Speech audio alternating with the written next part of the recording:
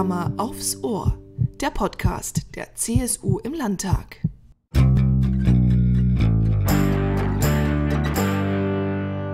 Heute trifft sich unsere Moderatorin Barbara Becker virtuell zum Gespräch mit Thomas E. Bauer, dem Intendanten des Konzerthauses in Bleibach. Herzlich willkommen zu Herzkammer aufs Ohr, unserem Podcast direkt aus dem Bayerischen Landtag von der CSU-Fraktion. Heute mit Thomas E. Bauer. Herr Bauer, was bitte ist die umgekippte Schuhschachtel? Die umgekippte Schuhschachtel ist ja ein Synonym für unser Konzerthaus in Bleibach, das inzwischen sehr bekannt ist. Das steht in einem kleinen Ort in der Oberpfalz im Bayerischen Wald. Und als wir ja das Haus sozusagen erfunden hatten, wollten wir es vom Prinzip so einfach wie möglich gestalten. Und Klassikfans wissen, dass eine Schuhschachtel eine besonders gute Akustik hat. Ja, wenn Sie zum Beispiel im Wiener Konzerthaus sitzen, da gibt es äh, ja eine Schuhschachteloptik, ja, wenn man sich die ganzen, äh, den ganzen Stuck und die Goldfiguren wegdenkt. Und äh, deswegen haben wir eine Schuhschachtel geplant. Und weil der Ort ein kleines Gefälle hat, musste die Schuhschachtel umkippen. Und so kam es zu dieser Schuhschachtel. Und Sie selber sind Niederbayer, Sänger und Bleibacher? Ähm, ich bin in Niederbayern geboren und sonst ähm, ziemlich unterwegs auf der Welt, äh, habe verschiedene Wohnsitze. Ähm, ich bin in der Nähe von Deckendorf geboren, aber sozusagen habe immer im Bayerischen Wald gelebt mit meinen Eltern. Ähm, ähm, Bleibach ähm, ist ungefähr 40 Kilometer entfernt äh, von meinem Wohnort im Bayerischen Wald. der Ort bot sich aber an, die Mentalität ist ja auch ganz ähnlich, das sind alles Bayerwaldler, weil er so an den typischen ja, infrastrukturellen Problemen gelitten hat. Also wie viele kleine Dörfer, äh, also demografischer Faktor, Leerstand und so weiter. Und dann kamen ähm, ja verschiedene Elemente zusammen, ähm, dass der Ort selber, die Gemeinde nach Lösungen gesucht hat. Städtebauliche Themen waren im Raum und dann gab es noch einen durchgedrehten, äh, genauso durchgedreht wie ich, einen durchgedrehten äh, Architekten, äh, der äh, dort etwas voranbringen wollte. Und ich persönlich habe dann nach einem alten Weidlerhaus gesucht, weil ich äh, in so eins hineingeboren wurde, äh, ohne fließend Wasser, äh, um meinen Kindern mal zu erklären, wie dieses Leben im Bayerischen Wald noch vor 50, 60 Jahren war. Äh, und bei dieser Suche bin ich auf Bleibach gestoßen, weil im Ortskern noch so ein altes Bauernhaus stand. Also sonst sind diese Häuser ja auch oft ja am Ortskern oder irgendwo äh, am Ortsrand oder im Wald. Es stand mittendrin der zentrale Bauernhof. Ja, ich habe das dann erworben und war dann plötzlich Teil dieses Bleibach-Projekts. Und wie Sie es schon angedeutet haben, in unserem heutigen Podcast geht es um Kulturförderung auf dem Land. Wenn man jetzt an Kultur denkt, dann hat man, glaube ich, oft auch in Bayern so städtische Kultur im Blick. Große Konzerthäuser, renommierte Theater, große Veranstaltungen.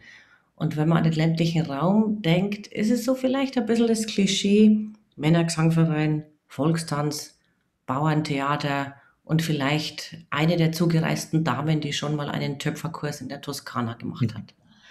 Ähm, und jetzt haben Sie ja, ich finde es ja ein total irres Projekt, also in einem 2000 Seelen Dorf äh, im Badischen Wald ein Konzerthaus zu bauen. Also wie bitte ist diese Idee entstanden? Also äh, kommen da zwei Spinner zusammen und sagen, oh, guck mal, Bleibach, da fehlt ein Konzerthaus. Ähm, ich glaube, Spinner braucht es überall auf der Welt, um neue Dinge äh, in Gang zu setzen.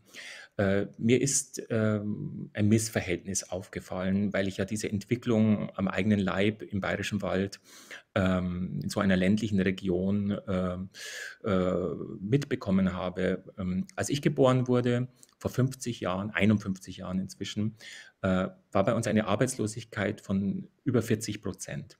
Äh, mein Vater hatte eine abgebrochene Elektrolehre, Elektrikerlehre. Also ähm, die einzige Chance für junge Leute bestand darin, äh, ja, nach München zu fahren, die Stadt aufzubauen, auf Montage fahren, hat man bei uns damals gesagt. Letztendlich waren die Arbeitssklaven.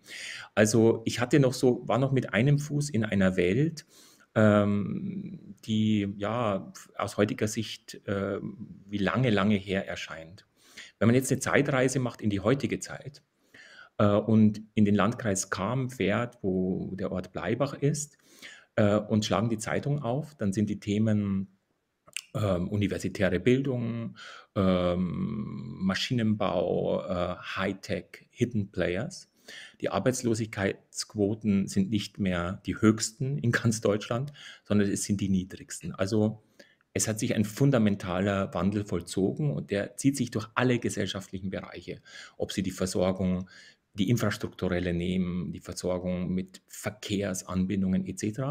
Also da hat sich in Bayern unglaublich viel getan äh, in diesen ländlichen Gegenden. Äh, mir ist aber aufgefallen, wenn wir das Thema Kultur mh, hm, ansprechen, äh, dann kommt genau, kommen genau die Klischees, die Sie gerade genannt haben, ja, irgendwie Seppelhut und äh, Weitlermess und so ins Spiel. Und ich habe persönlich nicht verstanden, warum man äh, die Menschen, äh, die dort ja auch einen ordentlichen Beitrag äh, zu unserer Wirtschaftskraft ähm, äh, leisten, äh, warum man sie sozusagen mit allen gesellschaftlichen Gütern ausstattet und auf andere, der anderen Seite das Thema Kultur ähm, das ähm, äh, ja sogar in unsere Verfassung eingeschrieben ist, äh, stiefmütterlich behandelt ist. Ähm, das äh, liegt nicht nur an den Regierenden, sondern es liegt eigentlich vor allen Dingen an den Menschen vor Ort, äh, denen man eigentlich, bei denen man eigentlich ein Bewusstsein dafür schaffen muss. Und das war so mein Antrieb, ähm, dass ich da sozusagen in diesem gesellschaftlichen Bereich mh, als Kulturschaffender einen Beitrag leisten wollte. Fantastisch. Und Herr Bauer, die, also die Entscheidung, einen, einen Konzertsaal, ein Konzerthaus Haus zu bauen, also die ist ja schon mutig. Und ich finde es so genial, weil es auch zeigt, also wie, also was in Bayern alles möglich ist, auch im ländlichen Raum. Also großartig, großes Kompliment für die Idee und die Umsetzung. Ich und glaube, jetzt haben Sie auch noch. Verzeihung, ich, ich glaube einfach, dass man die Leute unterschätzt. Und die Leute vielleicht vor Ort unterschätzen sich selber. Denn wenn wir jetzt äh, eine Kulturberatung engagiert hätten und gefragt hätten, macht es einen Sinn, ein Konzerthaus in so einer Gegend zu bauen, dann hätten wir alle abgeraten. Ja, Einzugsgebiet zu klein, ähm, die Menschen zu wenig interessiert äh, an solchen Spitzenleistungen der Kultur. Und äh, wie sich herausgestellt hat, ist das Gegenteil der Fall. Und das ist etwas, glaube ich, was man aufgreifen muss und äh, was ein Defizit ist, ähm, dass wir, äh, an dem wir arbeiten müssen. Mhm. Und Sie haben auch schon die Berliner Philharmoniker und andere bekannte Künstler und Künstlergruppen da gehabt, ne? Bei uns treten die berühmtesten auf. Also heute Morgen habe ich gerade telefoniert mit Gidon Kremer, einer der weltbekanntesten Geiger. Der sagt, kann ich nicht noch schnell im Herbst mit meinem Ensemble ein Konzert in Bleibach geben? Da spielen natürlich viele Kontakte ähm, eine Rolle. Also die größten Pianisten sind bei uns zu Gast. Igor Levit zum Beispiel, Sokolov, Volodos. Also wenn man sozusagen die besten Musiker hören will, ähm, dann kann man das in Bleibach tun.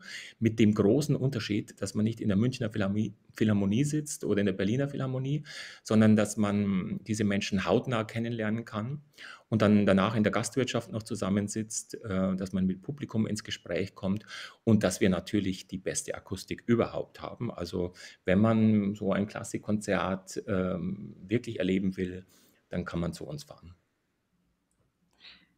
Und das Konzerthaus mit seiner modernen Architektur äh, ist ja ein echter Hingucker, gerade in so einem kleinen Ort. Da fällt es wahrscheinlich richtig auf.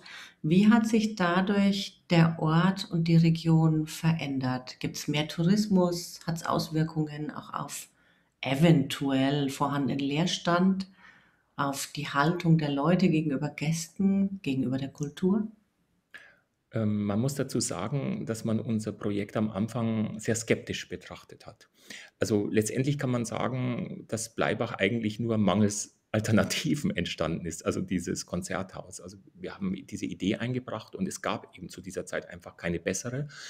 Oder jemanden, der sich bereit erklärt hätte, ähm, selbst zu investieren, weil es gehört ja auch dazu, ähm, dass man als Bürger sich beteiligt an solchen ähm, Entwicklungen. Also der Staat kann das ja nicht alleine machen, sondern bei aller guten Förderung muss man selber menschlich und finanziell in Vorleistung gehen. Das heißt, ich habe ja mich sozusagen nicht nur um dieses Haus bemüht, sondern ich habe selber das älteste Haus des Ortes ähm, restauriert. Ich bin eine persönliche Bürgschaft eingegangen für den Fall, dass das nicht klappt. Also das muss ich erstmal machen, also eine äh, Bankbürgschaft. Ich habe äh, zugesichert, dass wir den Betrieb auf 25 Jahre absichern, ohne dass wesentliche kommunale Zuschüsse notwendig sind und so weiter. Das ist aber wichtig. Ich war überzeugt äh, davon, sonst hätte ich dieses Projekt auch nicht angeregt, äh, weil wenn man sagt, ähm, ja, die Kommune, der Bezirk, der Freistaat muss das machen und dann gucken wir mal, dann sind solche Projekte auch äh, zum Scheitern verurteilt. Es gibt Effekte natürlich. Ähm, es sind die, ähm, über die man zuerst mal redet, ja, dass die Gaststätten größere Umsätze haben, dass wir viele tausend Menschen mehr haben, die Übernachtungen buchen äh, im Jahr äh, im ganzen Landkreis. Ähm, das sind meines Erachtens so diese ersten Dinge, die auffällig sind. Aber viel wichtiger finde ich ja den gesellschaftspolitischen Fortschritt, den man macht, dass eine Gegend plötzlich mit einem munteren Kulturzentrum, das weltweit besprochen wird, ausgestattet ist. Das tut ja auch was, finde ich, für den Selbstwert einer solchen Region. Und es hat auch etwas zu tun mit dem Selbstverständnis, den heute, das heute ein Freistaat Bayern für, für sein Land sieht. Ja. Äh, wir fragen ja bei anderen gesellschaftlichen Bereichen auch nicht immer nur gleich nach dem ökonomischen Mehrwert, der bei uns ja sogar da ist, sondern wir fragen nach dem Selbstverständnis. Ja. Bei, äh, wenn, wenn ich in Biotechnologieforschung investiere, dann frage ich auch nicht sofort danach, äh, wo ist jetzt der, der ökonomische Rücklauf, sondern ich gucke mir die Perspektiven an und ich definiere äh, Ziele einer Gesellschaft und das Ziel äh, Kultur, äh, das uns auszeichnet in Deutschland, das uns auszeichnet in Bayern, für das wir weltweit beneidet werden, ist ein wichtiges Ziel. Und das ist auch wichtig für ein kleines Bayerwalddorf. Und wenn wir dann aus dem kleinen Bayerwalddorf rausgehen, ähm, sind bei Ihnen Ideen entstanden, wie man generell den ländlichen Raum in Bayern entwickeln könnte, weiterentwickeln könnte. Ich meine, wir haben diese Kultur. Ich habe das am Anfang so, so etwas klischeehaft gesagt, aber das ist ja auch ein Reichtum, äh, Männergesangvereine, Volkstanzgruppen, Trachtengruppen, äh, Künstler äh, im ländlichen Raum zu haben. Das, was Sie äh, da in Bleibach gemacht haben, ist natürlich noch eine andere Nummer. Ist das äh, ein Teil der Entwicklung des ländlichen Raumes in Bayern? Was könnte man noch tun? Also ich halte es für sehr wichtig, dass man den äh, Kulturbegriff differenziert. Also ich kann mal erzählen, als ich so anfing, darüber zu sprechen im Bayerischen Wald und dann spricht man mal mit einem Tourismusbeauftragten in irgendeinem Landkreis, dann ist man sehr schnell irgendwie auch bei der Bayerisch-Böhmischen Knödelwoche und, und Trachtenverein und so weiter. Das sind alles Dinge, die ich liebe. Ähm, sie sind etwas anderes. Ja? Also man käme ja im Bereich äh, der Medizin zum Beispiel nicht ähm, auf die Idee, einen Chirurgen oder einen Hausarzt zu vergleichen. Sie haben zwei völlig verschiedene Aufgaben.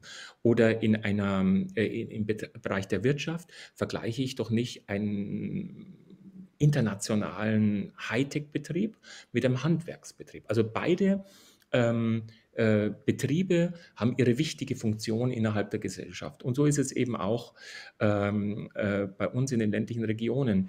Der Drachenverein ist sehr wichtig, der Gesangsverein ist sehr wichtig, ja. Und es muss aber auch die andere Ecke geben. Es muss da sozusagen ähm, eine Balance äh, hergestellt werden. Ähm, wie tue ich das? Äh, es gibt ähm, eine ganz simple Rechnung wenn ich mir einen Bezirk heute hernehme, ob das Oberfranken ist, ob das die Oberpfalz ist, ob das Niederbayern ist, dann ist inzwischen ein gesellschaftlicher, eine gesellschaftliche Kraft erkennbar im ökonomischen Bereich.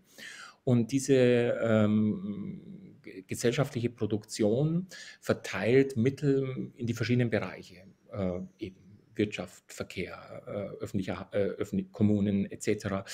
Ähm, ähm, und ich denke, dass hier sozusagen auch der Bereich der Kultur ein Äquivalent haben muss. Denn ein Mensch, der am, im Land wohnt, hat eben auch sozusagen zu einem kleinen Prozentsatz wenigstens ein Anrecht auf prominente Kultur. Und wenn ich das jetzt mal abgleiche, also ich will sozusagen städtischen Räume nicht gegen die ländlichen ausspielen, also wie so, so welchen prozentualen Anspruch auf eine prominente Kulturpflege habe ich jetzt als Münchner zum Beispiel, äh, auch wenn die Wirtschaftskraft insgesamt größer ist, ja, aber sozusagen das Angebot ist auch gigantisch. äh, dann müsste ich das doch eigentlich auch durchdeklinieren können in die anderen Bereiche Bayerns. Und wenn ich mir die Kulturhaushalte anschaue, die ja meistens als sozusagen freiwillige Leistungen deklariert sind. Ich spreche jetzt nicht von den Staatstheatern, äh, sondern von dem, was auf Bezirks- und kommunaler Ebene da ist. Dann haben wir es hier mit einer Unverhältnismäßigkeit zu tun. Und ich finde, dass man sich von politischer Seite äh, mal überlegen könnte, ob dieser Anspruch, der besteht, ähm, ob man, der ja zugleich auch ein Mangel ist, ja, weil er nicht wahrgenommen werden kann, weil die Kinder eben nicht die Möglichkeit haben, weltberühmte Künstler mal zu sehen, weil sie nicht 200 Kilometer nach München fahren können. Also ähm, ob man hier sich nicht mal ein Programm überlegt, äh, mit dem man diese Regionen entsprechend ausstatten kann. Und da geht es gar nicht um irrsinnige Summen, sondern es geht eigentlich nur um eine vernünftige Führung äh, dieser Programme. Und jetzt haben wir ja einen tüchtigen Minister, der aus Niederbayern kommt, äh, im Kunstministerium. Wir haben äh, in der Staatskanzlei und beim Ministerpräsidenten ja eine hohe Sensibilisierung jetzt auf das Thema Kultur, auch sozusagen im Hinblick auf die hohen Investitionen, die jetzt in München zu tätigen sein müssten die nächsten Jahre. Das muss man mal abwarten. Also insofern, ich würde sehr für eine Kulturstrategie ähm, für Bayern plädieren, äh, die sozusagen sowohl von der Staatskanzlei als auch von den zuständigen Ministerien gesteuert ist. Und da wären wir schon zwei, die sowas gut fänden.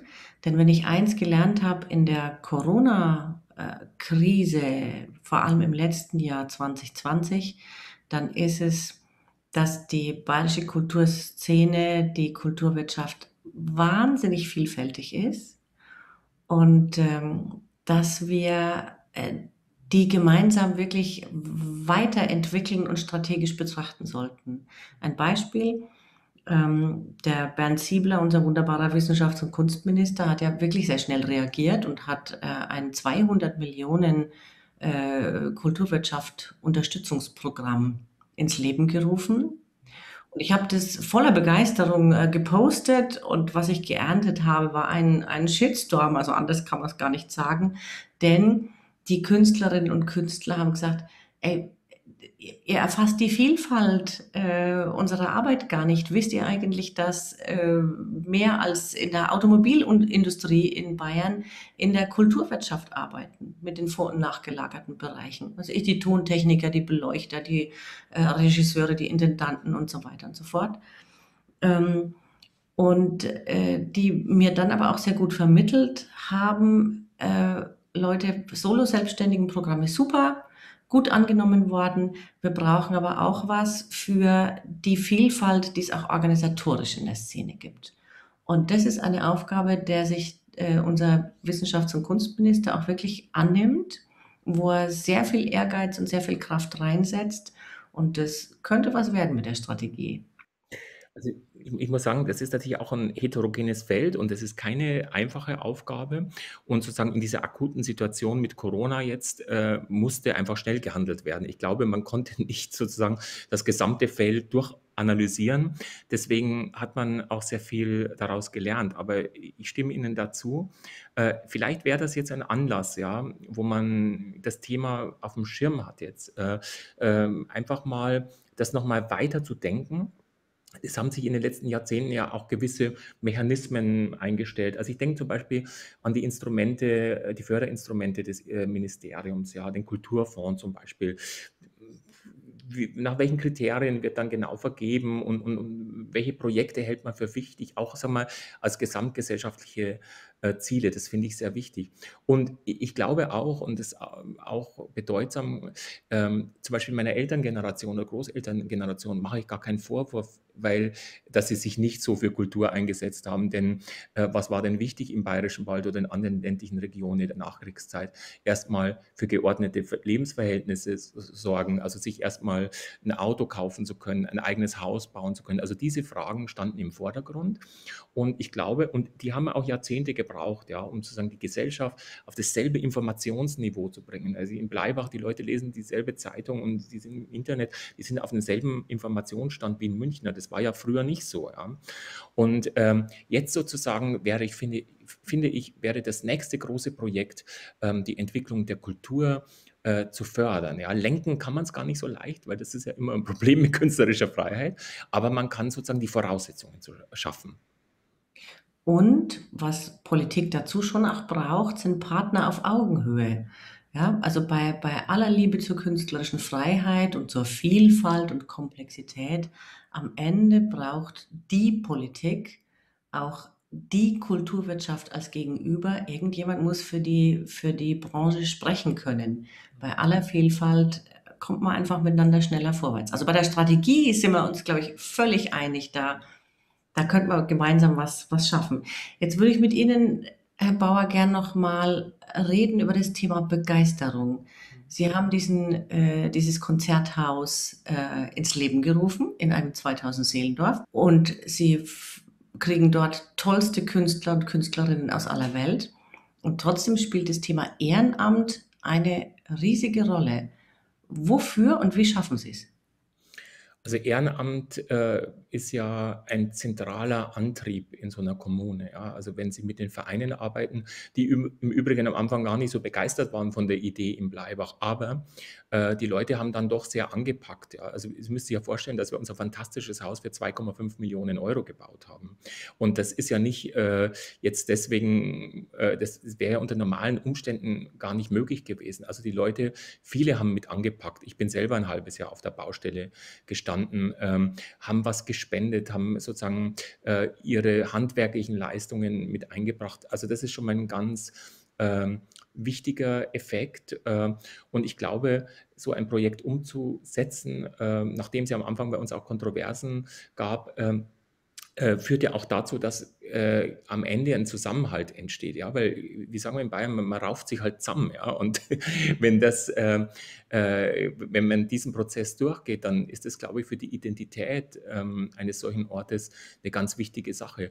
Ich habe mir am Anfang immer dagegen gewehrt, dass man in der Presse immer so diese Geschichte vom gallischen Dorf erzählt hat, ja, die schlagen sich jetzt da den Kopf ein und so. Und im Nachhinein bin ich dankbar für diese Geschichte, weil äh, die Prozesse in größeren Städten exakt dieselben sind. Und es sind auch die Argumente, die ausgetauscht werden, exakt dieselben. Ähm, nur mit dem Unterschied, dass wir in einer Kommune wie Bleibach, in so einem kleinen Ort, wo die Wege kurz sind, ja, da schlägt man sich einmal den Kopf ein, aber dann trinkt man Bier miteinander danach, dann auch äh, Lösungen gefunden werden. Und äh, in München warten wir ja immer noch äh, auf das äh, Konzerthaus für Symphonieorchester des Bayerischen Rundfunks und in Bleibach haben wir es innerhalb von einem Jahr dann hingestellt. Also das ist auch die Kraft, die in solchen ländlichen Regionen steckt. Kompliment, Kompliment. Und wenn wir jetzt auf die andere Seite gehen, der Nutzerinnen und Nutzer von Kulturangeboten, äh, haben Sie Ideen als selbst äh, engagierter, hochkompetenter Künstler, aber auch Unternehmer, Stratege? Wie können wir noch mehr Menschen für Kunst und Kultur begeistern? Nicht, dass es eine, ein Angebot für wenige Mhm. Vermögende, gut Ausgebildete bleibt. Also die Bereitschaft ist schon da, ähm, solche Dinge anzunehmen. Ähm, und ich glaube natürlich, man muss auf die Leute zugehen. Ich sehe aber ähm, viele Bemühungen, wenn es so in Richtung Format geht. Ja, also sagen wir mal, wir machen jetzt Mozart und wollen, dass die Leute das, äh, sich mit Mozart beschäftigen. Ja, dann wird Mozart so ein bisschen leicht gemacht oder Beethoven für Arme, sage ich jetzt einfach mal. Und ich finde, das Unterschätzen ähm, ist äh, ein großer Fehler. Also dass man es sozusagen den Leuten zu leicht macht.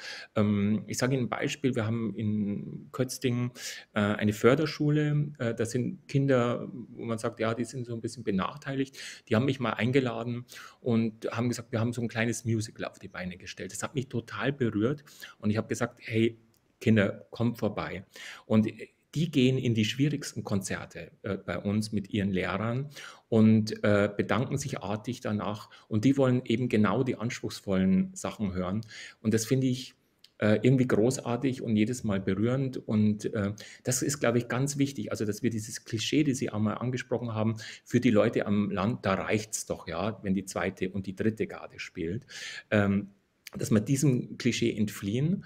Äh, es ist, äh, aber dafür muss es natürlich auch Mittel geben, ja. Und die müssen auch nicht aus dem Nichts kommen, das ist klar.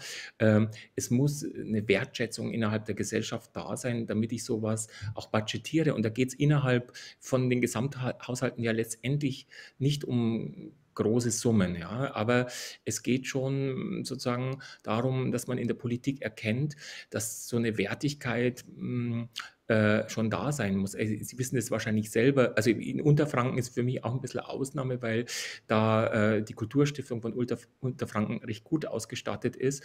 Ähm, in anderen Bezirken sieht es anders aus. Ja? Wenn Sie mal schauen, was so ein Landkreis, man darf ja schon froh sein, wenn es ein Kulturamt überhaupt gibt. Ja? Also meistens wird es ja unter Tourismus sub subsumiert. Ähm, also die Förderbeträge, die man da einwerben kann, da geht es immer um wenige tausend Euro.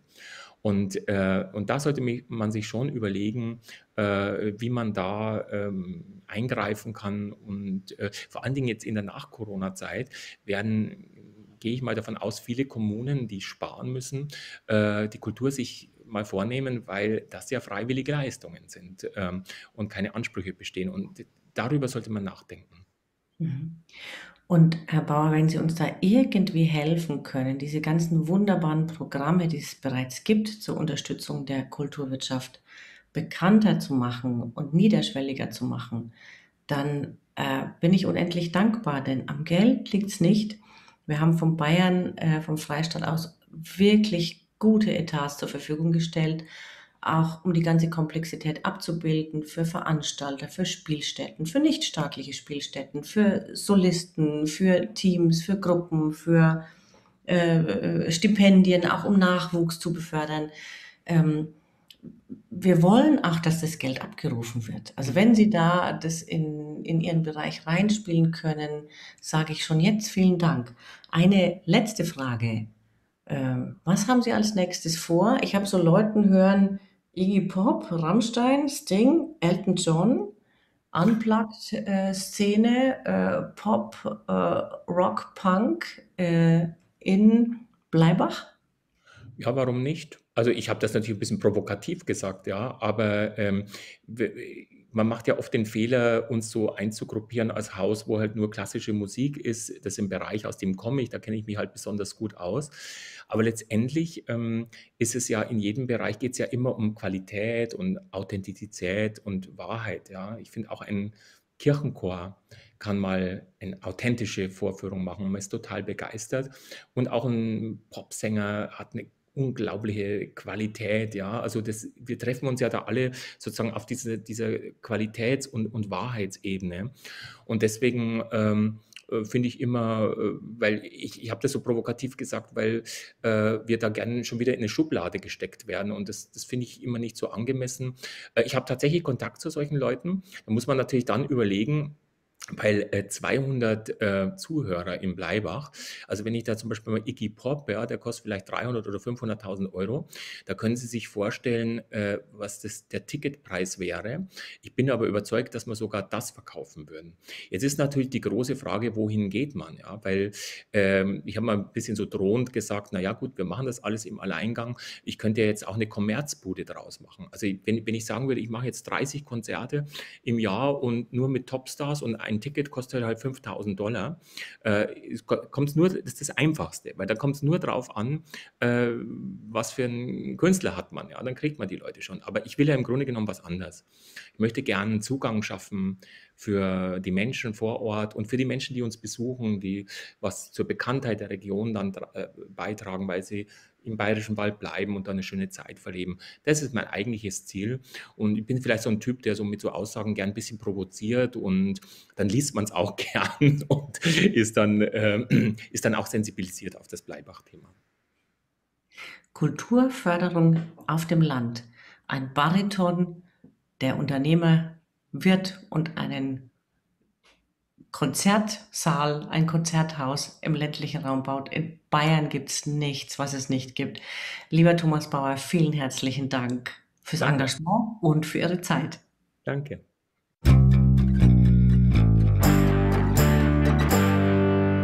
Geräuschkulisse.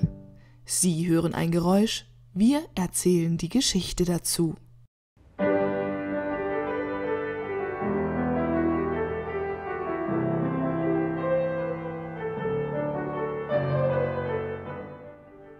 Klaviermusik im Bayerischen Landtag?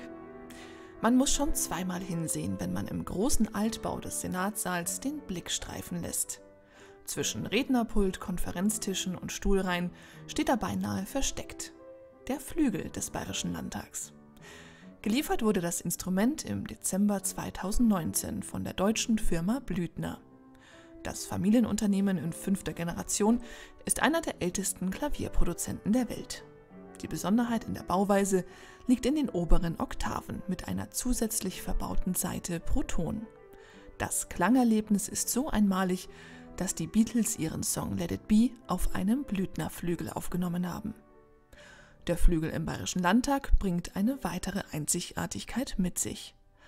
Extra für das Maximilianeum wurde der Deckel zwei Zentimeter kürzer angefertigt, damit das Instrument durch die schmalen Türen des Senatssaals passt. Damit ist er ein richtiges Unikum, das zu Landtags-, Fraktions- und Gedenkveranstaltungen regelmäßig zum Einsatz kommt. Nun fragen Sie sich vielleicht noch, wer das Lied am Anfang gespielt hat. Das war unser Abgeordneter Holger Dremel mit dem Lied Ich fühl wie du aus dem Soundtrack von Tabaluga. In der Fragestunde fühlen wir ihm auch noch auf den Zahn und eines kann ich Ihnen verraten, es bleibt musikalisch und künstlerisch. Fragestunde. Heute mit dem Musikliebhaber, Organisten und unserem Stimmkreisabgeordneten für Bamberg-Land, Holger Dremel. Singen Sie unter der Dusche? Ja, meistens schon. Was war Ihr erster Kinofilm? Einer meiner ersten Kinofilme, der mich immer noch begeistert und den man immer wieder anschauen kann, war Pretty Woman. Kann man eine Fraktion mit einem Orchester vergleichen? Und wenn ja, welchen Part haben Sie? Ich denke schon, dass man es mit einem Orchester vergleichen kann, weil viele verschiedene Parts zusammenspielen müssen, um die richtige Musik, den richtigen Klang zu, beizutragen. Ich bin nicht die laute Trompete, ich bin auch nicht der kräftige Trommler. Ich würde mich eher äh, als Streicher bezeichnen, der das Ganze sehr gut begleiten will. Gibt es ein Lied, bei dem Sie sofort weiterschalten müssen? Es gibt bestimmte Lieder oder Liedgruppen, äh, sage ich jetzt mal, äh, die in die Techno-Richtung gehen, was nicht besonders mein Stil ist, da schalte ich grundsätzlich weiter, ja. Gehen wir nochmal zurück zur Fraktion. Wer ist denn der begabteste Musiker in der Fraktion? Also wir haben viele begabte Musiker, das merke ich. Ähm, ob das jetzt ein Marcel Huber, ein Franz Josef Schierer ist, ob das ein Manfred Lendner ist oder auch ein Kollege Brandl. Man merkt, diejenigen, die selbst Instrumente spielen, musikalisch sind, äh, die sind auch ansonsten stimmig im ganzen Orchester und beim Konzert. Gibt es auch jemanden, der immer aus dem Takt klatscht? Da ist mir bislang noch keiner aufgefallen. Vielleicht bin ich auch noch nicht so lange dabei, dass ich merke, dass einer ständig aus dem Rahmen fällt. Haben Sie denn aktuell einen Ohrwurm und vielleicht geben Sie uns auch eine kleine Kostprobe? Einen Ohrwurm aktuell habe ich persönlich nicht, aber es gibt viele Lieder, dem ich was Positives abgewinnen kann. Was mir besonders fällt, gefällt, auch viele ähm, musikalische Begleitungen, die ich zusammen mit meiner Frau teilweise bei Hochzeiten äh, machen darf, äh, ist das Lied Die Rose bzw. The Rose. Das ist was, was mir äh, sehr gut gefällt. Kurzer Ohrwurm, ja, gerne. Some say love, it is a river that drowns the tender reed. Some say love, it is a razor that leaves your soul to bleed. Wow, vielen, vielen Dank. Da passt auch die nächste Frage perfekt dazu, denn da geht es um Musikstars und äh, eigentlich ist die Frage ja fast schon überflüssig. Äh, wenn Sie in die Rolle eines Musikstars schlüpfen könnten, wer würden Sie sein? Aber das klang schon sehr nach Musikstar. Also Bette Midler äh, mit The Rose ist natürlich ein Star. Ich bin natürlich ein Mann, ich will keine Frau werden, äh, aber äh, es ist eine gute Verkörperung und es ist eine tolle Musikerin, die mir sehr gut gefällt. Aber es gibt x Musiker, äh, denen ich auch was abgewinnen kann. Gibt es denn einen Star oder Künstler, den Sie vielleicht besonders in Ihrer Jugend oder in der Kindheit ganz toll fanden oder angehimmelt haben? Also ganz toll, auch wenn es nicht ganz meine Zeit ist, äh, vor meiner Zeit gelaufen ist, äh, fand ich die Beatles. Und zwar deswegen, weil sie in der Gruppe mehrstimmig äh, gut gesungen haben, klasse Arrangements, klasse Lieder, die ins Ohr gingen und die man letztendlich auch jederzeit unter der Dusche mitsingen kann. Jetzt probieren wir mal was aus. Und zwar würde ich Sie jetzt bitten, ähm, sich in äh, einen Songtexter zu verwandeln und vielleicht mal ein wenig zu reimen und zu texten und einfach mal spontan äh, drauf loszutexten. Wenn ich Ihnen folgende Anfänge äh, von äh, verschiedenen Songs gebe, äh, wie die dann weitergehen könnten. Kann ja auch sein, dass Sie, dass Sie sagen, genauso wie sie weitergehen oder auch gerne was äh, dazu dichten. Dann fangen wir einfach mal an mit Weine nicht, wenn der Regen fällt. Tam, tam, tam, tam. Denk daran, du bist nicht allein. Tam, tam, tam, tam. Atemlos durch die Nacht. Bis der Morgen erwacht. Ich wollte dir nur mal eben sagen. Ich liebe dich und du bist das Beste für mich. Applaus, Applaus für meine liebe Familie und meine liebe Frau. Wie haben Sie denn überhaupt Ihre Leidenschaft für Musik entdeckt? Ich bin relativ früh äh, zur Orgel gekommen, beziehungsweise zum jetzigen Keyboard. Bereits mit fünf Jahren hatte ich Orgelunterricht durch meinen Nachbarn, der war Orgellehrer, und bin so über die Kirchenorgel beziehungsweise über die Heimorgel zur Kirchenorgel zum Klavier gekommen, äh, teilweise auch wegen zum Akkordeon. Äh, das war schon früh in die Wiege gelegt quasi. Muss aber auch dazu sagen, dass wir eine musikalische Familie sind. Jeder spielt ein Instrument. Äh, auch mein Vater ist sehr musikalisch und er ist in, im Bereich der Volksmusik sehr bewandert und hat da auch ein eigenes Liederbuch herausgegeben, ähm, der Volksmusiklieder, dass man diese fränkischen Volkslieder auch weiterträgt an die nächsten Generationen. Gehen wir erstmal so ein bisschen weg von der Musik und vielleicht in Richtung Film. Das Traumschiff oder Star Wars? Eher das Traumschiff. Programmkino oder Dolby Surround 4K Kinosaal? Ich würde eher den Kinosaal bevorzugen. Welchen Film können Sie sich immer und immer wieder ansehen? Da bin ich wieder bei meinem ersten Film Pretty Woman äh, was ich auch ganz toll finde, äh, sind die, ähm, die Krimis, die bayerischen Krimis über Eberhofer, äh, über Sebastian Pretzel und ähm, die sind in einer Art und Weise sehr unterhaltsam und kann man sich immer wieder anschauen. Bei welcher Musik können Sie am besten den Haushalt erledigen, tanzen oder vielleicht sogar auch arbeiten? Normalerweise bei ganz normaler Alltagsmusik, die man im Radio hört, äh, aber ich gestehe auch offen, äh, ich kann mir auch Klassik anhören und äh, auch Volksmusik ist was, wo ich persönlich sehr stark runterkomme. Wenn Politik eine Musikrichtung wäre, welche wäre es? Ich denke die Klassik. Und zwar deshalb, wir brauchen ein Zusammenspielen von vielen, von Politikern, von Bürgern, von der ganzen Gesellschaft. Deswegen ein riesiges Orchester in der Klassik, dass alle möglichst ihren Beitrag leisten, dass das Ganze zusammen ein toller Erfolg und das Beste für die Menschen wird. Wie wäre ein Leben ohne Musik für Sie? Es würde auf jeden Fall was fehlen. Musik trägt dazu bei, dass man glücklich ist, dass man fröhlich ist, dass der Tag äh, gut wird und wenn er nicht gut wird, dass er gut werden kann. Und was neben der Musik macht Ihnen besonders viel Freude? Ganz besonders viel Freude macht mir Fahrradfahren, Skifahren, Motorradfahren, Zeit mit der Familie, mit der Frau verbringen und Urlaub ist auch was, wo ich persönlich viel Freude erlebe. Wunderbar, vielen Dank. Gerne.